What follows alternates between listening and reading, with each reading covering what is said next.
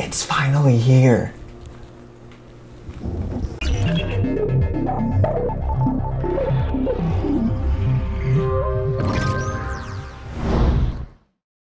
Hey, what's up guys? This is Kent for TalkAndroid.com and my roommate is cleaning his bathroom and I'm very excited because today's the day. It's finally here. We've got ourselves a Samsung Galaxy S8. Uh, so let's go ahead and this will be a uh, pretty pretty to the point unboxing. We'll uh, take a look at what we got here. Now this is a very straightforward minimal packaging, uh, which is pretty common for most of the flagship phones. Um, flat black design here with the blue S8 logo. And this is a uh, AT&T model. Uh, but enough of that, we'll just dive straight into it here. that. And uh, ooh, if you are not sure how to open the box, there's a little arrow. All right, let's crack this open. My cat is going crazy because she is just so excited. All right, let's check it out. Ah, AT&T, let's get started. Get on my face, AT&T. All right, there it is.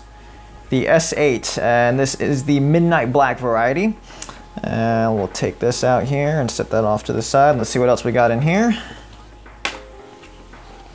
Looks like we've got our SIM tool, and what I'm assuming is uh, términos y condiciones. Uh, we'll go ahead and get that out of the way. And then we've got, looks like a micro USB to USB-C adapter, which is actually pretty handy. And our uh, female standard USB to male USB-C there for transferring your content and our AC adapter, which does have adaptive fast charging. And under here, we've got our USB-C cable and some earbuds. Interestingly enough, these are um, AKG branded. I do love me some AKG headphones, so I'm very excited to test those out and see how those hold up. So we'll go and set all of this goodness aside for now. Um, we'll go ahead and fire up here and see what we got. Meanwhile, this does have a 5.8 inch display across the front here. This is the um, S8, not the S8 Plus, which does have a 6.2 inch display. Ooh. Well, hello to you. This does have that 5.8 inch display, unlike the S8 Plus, which has a 6.2 inch display, I believe. Um, and it does have Corning Gorilla Glass 5 on there. This is running Android 7.0 Nougat out of the box, and of course, uh, the ever-loved TouchWiz UI. Now being that this is a uh, US variety, uh, it is running a Qualcomm Snapdragon 835 processor with 4 gigs of RAM and an Adreno 540 GPU. Uh, now the nice thing, uh, one of the nice things about this is it does feature 64 gigs of storage. Uh, you might remember one of my pain points uh, from the S7 Edge video I did a while back was that the 64 gigs were pretty much impossible to come by. So it's nice to see them starting at the 64 gig mark. And as always, we do have our SD card slot. Um, and as far as the camera, we have a 12 megapixel shooter on the back with an f1.7 aperture. On the front here, we have a uh, 8 megapixel camera, also with an f1.7 aperture. Um, now this does feature the fingerprint scanner, which is actually rear mounted. I always found that this uh, location was sort of awkward, um, so I'll be interested to see sort of how that does in day-to-day -day usage. And of course, it also has the iris scanner. All right, but we'll uh, go ahead and dive right into the setup here. I'm gonna start, and we'll skip through this real quick.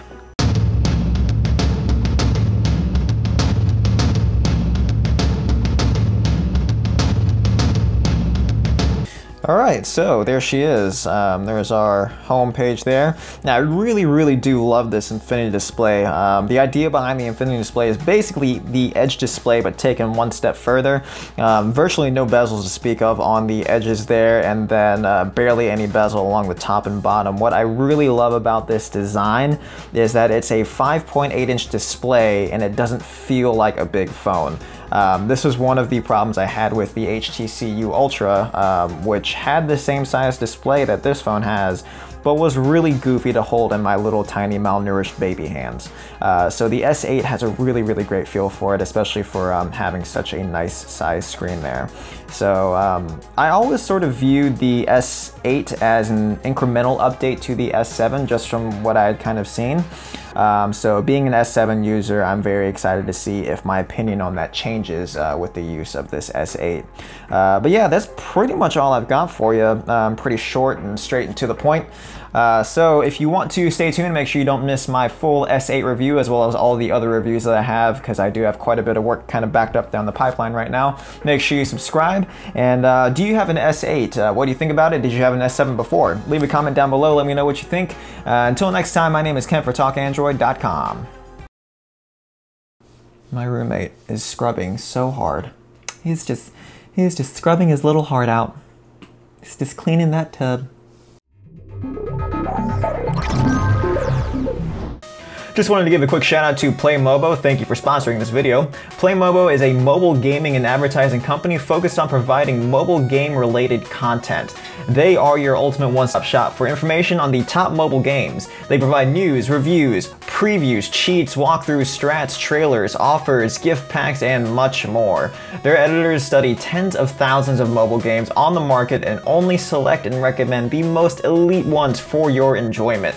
And with their app, you can do a bunch of different stuff like uh, browse through the latest news stories for the most popular games, discover top quality new games, master your favorite games with exclusive walkthroughs and tips, uh, view curated list of the best mobile games by category, find deals and gift packs for the top mobile games, earn money by completing game tasks, and participate in discussions with thousands of other gamers. Make sure you check them out by going to playmobo.com and also don't forget to download their app on the Google Play Store.